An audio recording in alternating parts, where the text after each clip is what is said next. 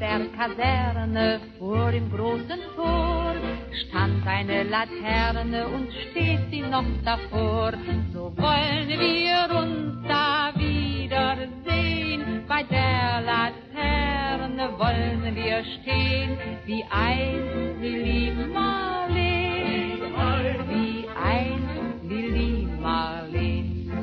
Konkretno mi sad idemo na autoput koji se ovde označava kao D1 ili ti dalnica broj 1 ili ti autoput broj 1.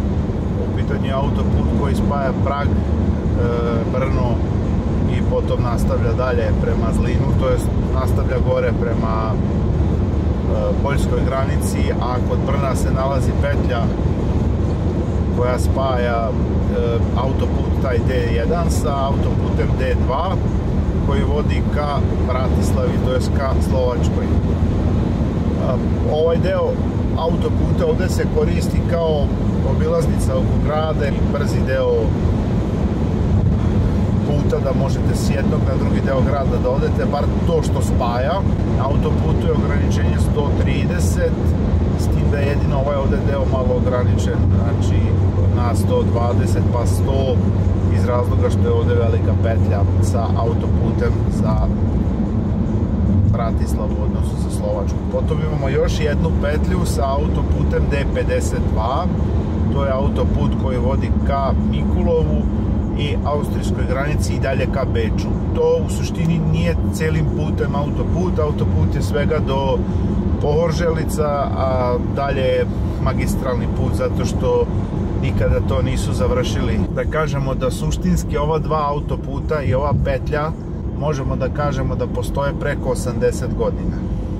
Šta mislim pod tim? Pod tim mislim da je autoput današnji D1 od Praga ka Brnu u suštini počeo da se gradi još pre drugog svetskog rata. Oni su imali jednu viziju koja se zvala e, država za 40 miliona stanovnika. Gradimo državu za 40 miliona stanovnika. Využívám této příležitosti, abych vám řekl, že celé splnění toho velikého plánu je ve vašich rukou, vážení posluchači a voliči Českoslovenští. Čekoslovačka je tada imala oko 15 miliona stanovnika i e, u suštini njihova ideja je bila znači da se tu prave magistralni putovi, magistralne pruge i šta ti ja znam sto nekih drugih izmena. Danas se to posmatra sa principa Ujedinjene Evrope, tada je bilo malo drugačije vreme. Mislim da su oni pre svega kopirali Nemačku zbog tih autoputeva I jedna od stvari u stvari koju ćemo da pričamo upravo danas je taj autoput koji je trebao da se pravi od granice sa tadašnjom Nemačkom do Praga prema Brnu, potom prema Zlinu, pa šta ja znam prema Trenčinu, severnim krajem Slovačke, e, do Košica i onda Užgorod i skroz do e, kraja tadašnje Čekoslovačke. Tadašnja Čekoslovačka je sadržala i deo današnje Ukrajine, tu da je Užgorod. Od prilike ta trasa autoputa od Praga do Brna pa prema Zlinu je to nešto što je i tada planirano. Ono što nikada nije napravljeno jeste autoput od Vroclava u, u Poljskoj i spustio se do Beča. To nikada nije napravljeno, to je više bio nemački plan autoputa koji nije ostvaren, ali e, jednostavno ovaj deo ovde od Brna do e, pravcu Beča je počeo da se pravi, ajde da kažem delimično napravljen, mada nešto puno se ne radi. Zašto se ne radi? Verovatno zato što je paralelan sa autoputem koji već postoji, koji je izrađen za vreme Čekoslovačke od e, samog Brna do Bratislave, je potrebno da se pravi još jedan paralelan put. Ono što je ostalo od cele te priče, osim toga što su ostali planovi kako da se napravi taj put. To je jedan od autoputeva znači, koji je vezan ovde trebao da prolazi upravo od Vroclava pa skroz do Beča. E, osim što su ostali planovi, ostala je i trasa autoputa, jer je dobrim delom to već bilo istrasirano i urađeno. Čak su urađeni mnogi podvožnjaci, nadvožnjaci, mostovi, propusti, e, taj ceo donji stroj autoputa bukvalno urađen skoro na čitavoj teritoriji e, današnje Češke. E, mali deo gore prema Poljskoj se ne vidi, ali već u Poljskoj prema Vroclavu današnji taj magistralni jedan put koji vodi ka Češkoj, od Vroclava ka Češkoj, u stvari prati to, ovaj, kako se zove, nekadašnje, nekadašnju putanju toga autoputa nikad završeno. E, šta je još interesantno? Interesantno je da je ovaj autoput od Brna ka Beču u stvari dobrim delom prati taj, e, tu trasu autoputa koji je planiran za vreme nacističke Nemačke. Jedan samo deo, jedan segment je, e, da kažem, pomeren, a to je upravo ovde u samom Brnu, jer petlja je trebala da bude negde između mesta Trupsko, naj, najviše naspram Trupska i u suštini je to pomereno petlja je danas na tu gde se nalazi, znači gde se spuštate sa D jedinice na D52 na nastavak Viljenske ulice ili Tibečke ulice. E, s pogleda grada, Brna i uopšte plana okolo, ovaj deo se ne uklapa ni u šta.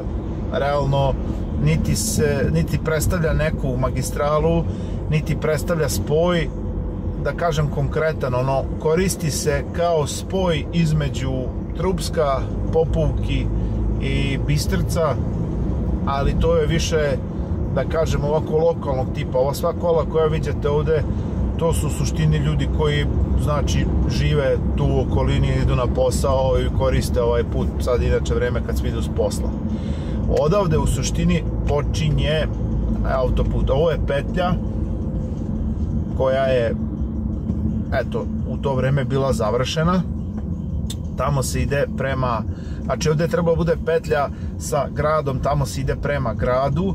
Pravo bi taj autoput u suštini išao ka e, Poljskoj. U suštini mi ćemo ići, to je jedna, jedna kratka deonica od par kilometara, sad kad se pogleda izgled tog autoputa, apsolutno ne možete da, da pretpostavite da je to autoput koji je star preko 80 godina iz razloga što je on sad izasfaltiran, tu su semafori, tu su moderna obeležja, ali u suštini osnova ovog autoputa su uh, one betonske kocke ploče, nešto slično kao što je bio autoput Novi Sad Beograd stari autoput ili tamo imate jedan deo starog puta kod Bačke Topole koje je tako od betona.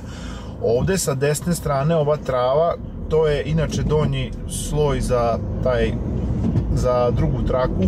To je sve bukvalno već bilo pripremljeno ja pretpostavljam da je to bilo urađeno do ovde i da su oni onda jednostavno samo to iskoristili posle ovde vlast u Brnu što kaže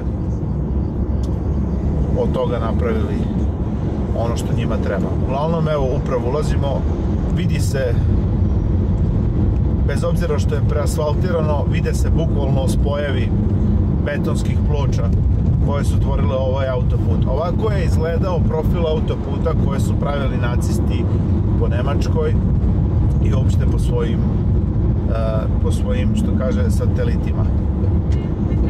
Tak, to je bio autoput pre 80 godina. Kaserne vor dem großen Tor stand eine Laterne und steht sie noch davor.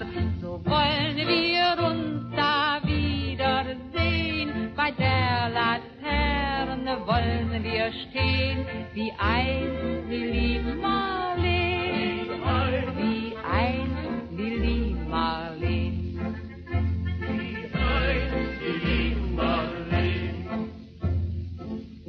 Beiden Schatten sahen wie einer aus, dass wir so lieb uns hatten, das sah man gleich daraus. Und alle Leute sollen es sehen, wenn wir bei der Laterne stehen, wie einst Lili Marleen, wie einst Lili Marleen. Ja, sad bude ono pitanje, kaže šta si nas doveo na jezero kad si rekao da ideš da slikaš i snimiš nešto autoputu, pa zato što se ovde deo, nalazi deo tog autoputa.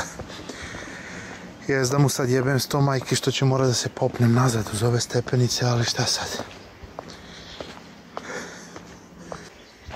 Sad smo sa druge strane brane.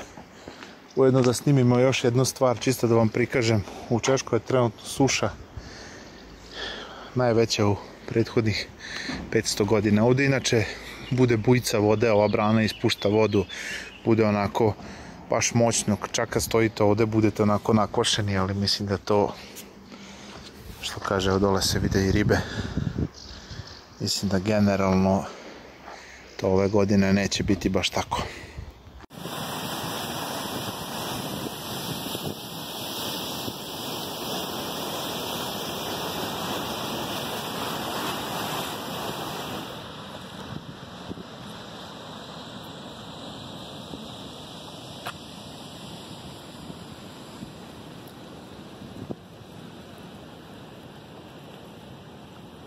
Čega smo došli je ono tamo pravo.